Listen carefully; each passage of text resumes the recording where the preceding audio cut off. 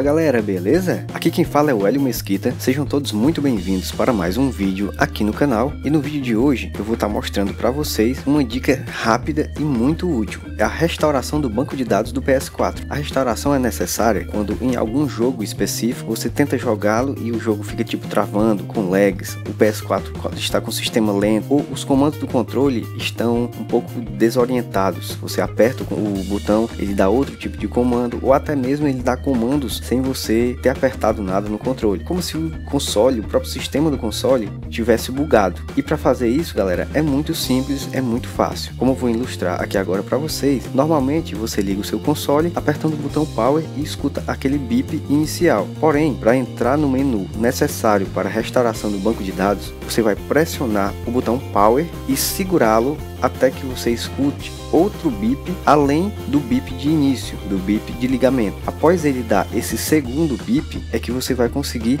entrar no menu. Essa técnica, esse método é eficaz não só para o PS4 Fat, mas também para o PS4 Slim ou seja, todos os modelos de PS4 ele é útil. Você vai apenas pressionar o botão Power, segurá-lo e vai entrar nesse menu seguinte. Quando você entrar nesse menu, é o menu de segurança, modo de segurança do PS4. Ele vai pedir para que você conecte o controle do DualShock 4 através de um cabo USB. O cabinho que você carrega seu controle pode ser o cabo original do console, ou se você não dispor mais do cabo original, você pode usar um cabo de celular normal, um cabinho USB de dados e vai estar conectando ele ao console. Após você conectá-lo e apertar o botão PS, vai aparecer esse menu com sete opções. Na primeira opção, você vai ter a opção de reiniciar o seu PS4. Esse, esse menu de reinicialização serve apenas para que você reinicie o PS4, logo bem, bem intuitivo. O segundo é alterar a resolução. Você simplesmente vai alterar a resolução é, por algum motivo específico que você talvez precise, alguma TV tipo 4K que você queira mudar para TV TV, TVs com resolução mais baixa, enfim. É, a terceira opção você vai atualizar o software do sistema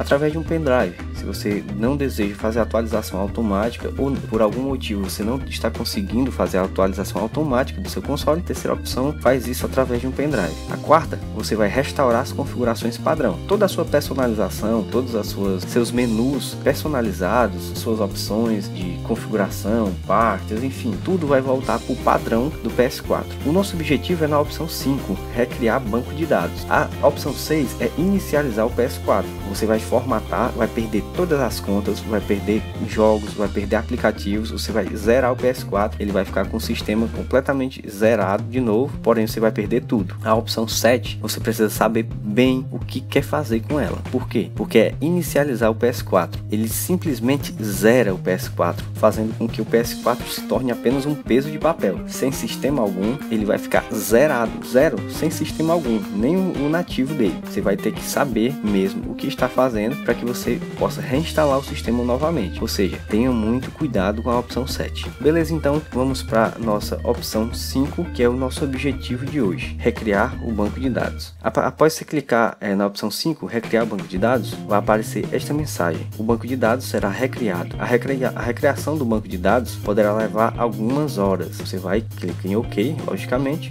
depois de um certo tempo, ele vai recriar o banco de dados e reiniciar o seu console automaticamente, como vocês puderam ver.